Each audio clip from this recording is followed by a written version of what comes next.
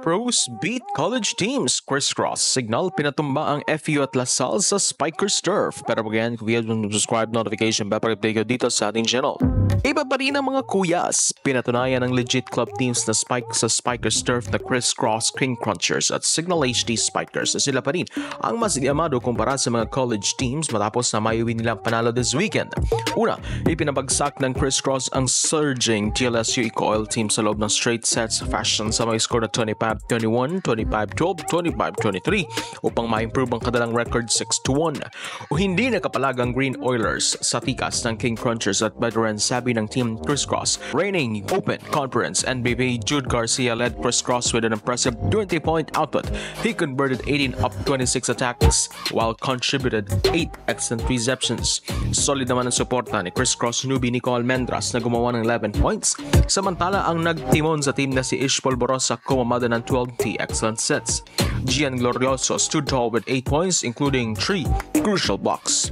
Sa panig naman ng Lasal, nalimitahan ng mga stars silang sina Vince Maglinaw at Noel Campton na ng husay at depensa ng crisscross dahil dyan sure na sa playoffs ang Cream Crunchers samantalang kailangan bumalik sa kanilang groove ang Lasal upang mabuhay pa ang kanilang semis hopes. Aminado ang King Crunchers na kahit mga bagets ng kanilang kalaban ay kailangan pa rin nila itong paghandaan.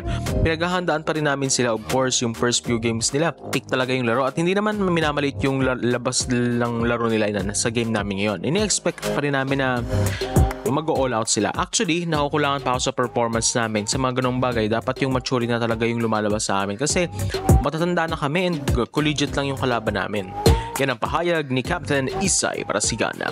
Sa kabilang banda, nalagpasan naman ng defending champion Signal HD Spikers ang matinding hamon ng league-leading DNCL FEU matapos nila itong pabagsakin sa mga score na 25-27, 25-21, 25-20, 25-20. Nanguna dito si Lloyd Josaphat led the balance Signal offense with 12 points, including 8 attacks and 4 blocks, while JM Ronquillo and Mark Calado contributed 10 points each.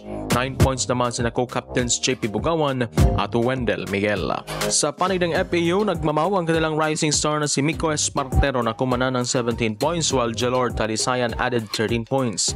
Medyo slow start ang HD Spikers ngunit nalampasan nila ito hanggang sa naiuwing tuluyan ang laro.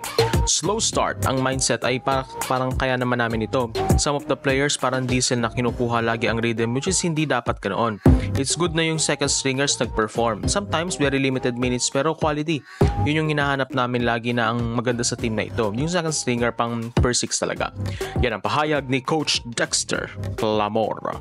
So drop to Wesico for support channel. Please don't sub notification bell para update kayo dito sa ating channel.